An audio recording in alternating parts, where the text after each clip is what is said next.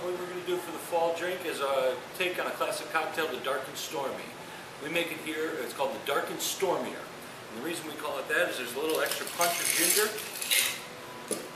using this product. It's a ginger infused cognac called Domaine Canton. And it's uh, fantastic. So we start with uh, one and a half ounces of that.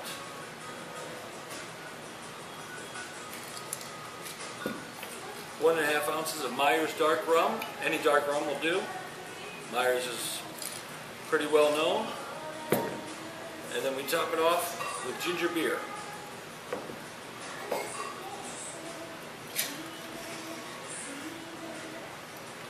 And this is a great refreshing drink.